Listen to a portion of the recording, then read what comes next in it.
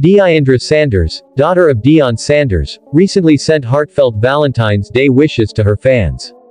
After wishing her brother Shilo Sanders a happy birthday on Friday, she took to her X account to wish her followers a happy Valentine's Day. Deiondra recently shared her holiday plans on Instagram, revealing that a trip to see the northern lights in August has always been on her bucket list. In her post, she wrote, Nobody. Me. Randomly planning a trip in August to see the Northern Lights Law. They have always been on my bucket list. This year, I heard they will be the brightest also. Deiondra Sanders is projected to accumulate a net worth of $40 million by 2024, as reported by Hot New Hip Hop.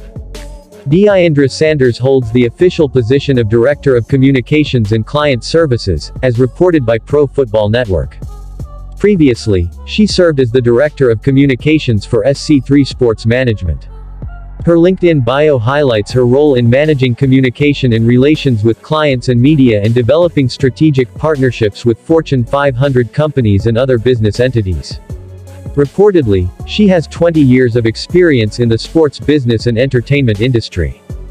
Deiondra is recognized as the daughter of NFL Hall of Famer Deion Sanders. She has achieved success as the creator of the hair extension line Love Me Extensions and is a joint owner of the online shoe boutique House of Soul. Deiondra has also gained fame as a reality star and entrepreneur, making appearances on popular shows like Deion's Family Playbook and Deion and Pilar Sanders, Primetime Love, which have garnered attention from audiences nationwide. Share your thoughts in the comments section below.